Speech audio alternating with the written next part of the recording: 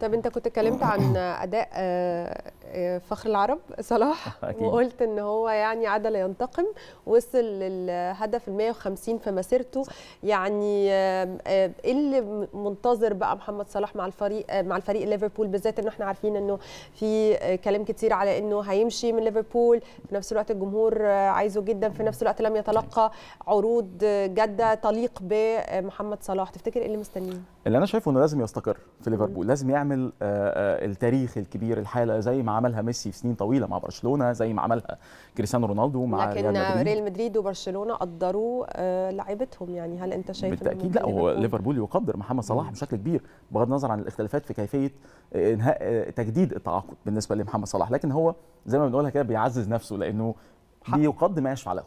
حقه طبعا الخلاصة إنه بيقدم ما. يشفع له وفي كل مرة بيعمل في, ال- في يعني آه، في الدوري يمكن ال- الإنجليزي أو الأسباني أو أو إحنا بنشوف إن الأندية دي فعلا كانت لعيب هو اللي شايلها. يعني لما شفنا ميسي مشي من برشلونة أو كريستيانو رونالدو من ريال مدريد شفنا أداء الفرق دي مش زي ما هي. ففي نفس الفكرة إحنا بنتكلم بمحمد صلاح اللي النهارده بيبقى مش هنقول بيتقارن بيهم لأن هو النهارده أحسن بكتير. صحيح. ففي وجهة نظرك ليه ممكن ليفربول ما بيقدرش حاجة زي يعني قيمة وقامة زي محمد صلاح؟ هم في الكرة في إنجلترا بشكل عام بالنسبة لهم اقتصاد قوة.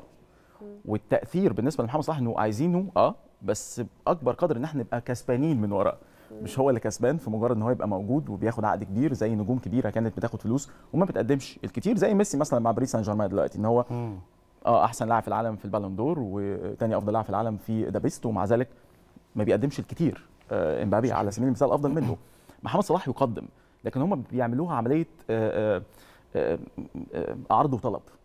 إحنا نديك كذا فنفاصل فيها فهتمشي إزاي. المهم إنه محمد صلاح بيكسب كويس قوي من ليفربول بيكسب كمان كاسم مع ليفربول لأنه خلاص. بقى في المنظومة. وليفربول دي بقى من الأندية اللي ما بتقفش على حد لأنه ليفربول كسب كل الماتشات لما كان محمد صلاح وساديو ماني في أمم أفريقيا على سبيل المثال.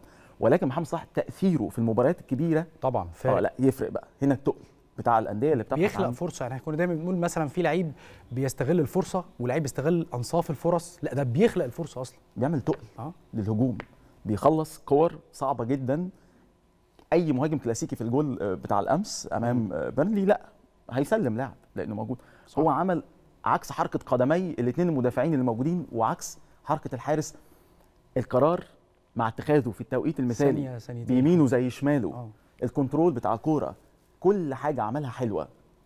تديله كريدت انه لا افضل لاعب في العالم بدون مجاملة وبدون تحيز ان إحنا كمصريين لأنه لا دي النقاط اللي بتفرق لاعب عن لاعب. صح. إزاي بيخلص؟ مم. إزاي بيعمل آه، آه، افضلية لفريقك بمهارتك الفردية وقيمة المهارة الفردية لما تخدم على الأداء الجماعي والنتيجة الإيجابية.